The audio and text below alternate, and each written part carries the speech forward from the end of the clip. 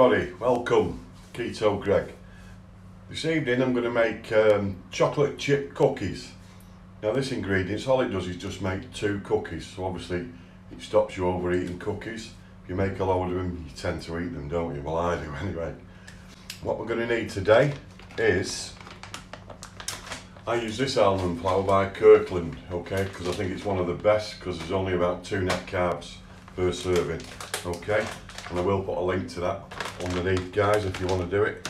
And also, we're going to need some swerve, and I use this, okay, confectionery swerve, because there's no calories and no net carbs in it at all.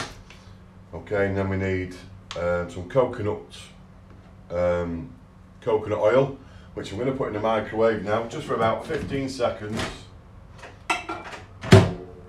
And we're going to melt that for 15 seconds and then just set it to one side. We're also going to need some vanilla extract, an egg yolk, some chocolate chips as well, and a little pinch of salt. So, let's make them. We've melted our oil, which is here, so we're just going to set that to one side for a minute. First thing we're going to add is half a cup of the blanched almond flour. And then we're going to add three tablespoons of the swerve. We're also going to add just a pinch of salt.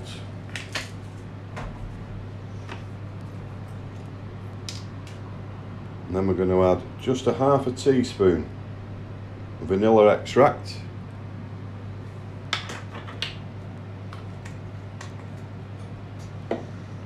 And then half a tablespoon of chocolate chip cookies. Uh, egg yolk.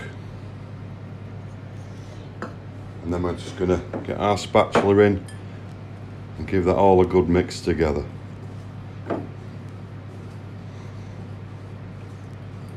I've got it this far now, so now you can pour the oil in. Coconut oil.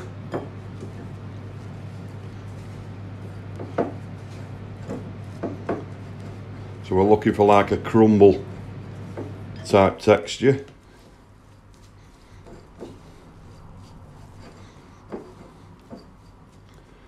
Like so.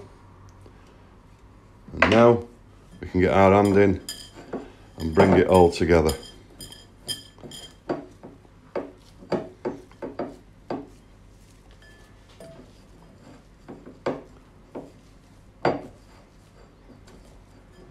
There we go.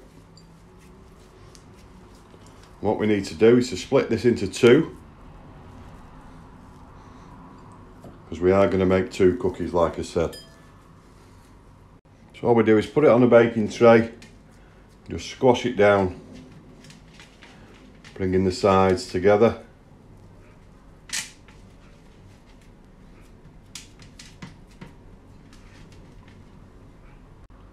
there we go what I've done this time I've just kept a few of the chocolate chips back so we can push them into the top just gives it that little bit of extra goodness, doesn't it? And lucky. Okay, so we're going to pop them into the oven at 190 for about 10 minutes.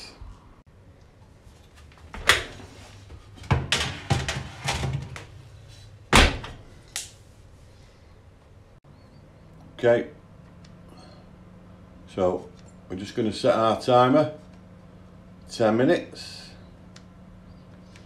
There we go. There we go. Bring them out the oven.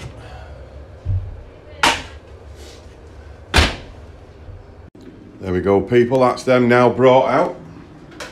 And all we're gonna have to do now is give them about 20 minutes for them to cool down and then we'll be able to eat them.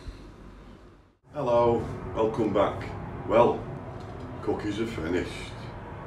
Look at these just made the two like we say so now is going to come that amazing taste test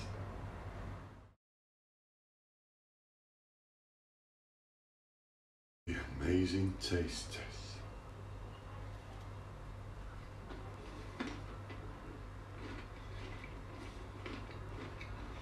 Mmm. Oh. Mmm. That's so crunchy. You can taste that coconut oil. If you like coconut, definitely. If you don't like coconut, then use butter instead of coconut oil because you can taste the coconut oil in it. I like just a little bit of coconut and that's just enough for me. Absolutely lovely guys, ladies. Absolutely beautiful. Please try it. Let me know what you think. Bye for now. Take care.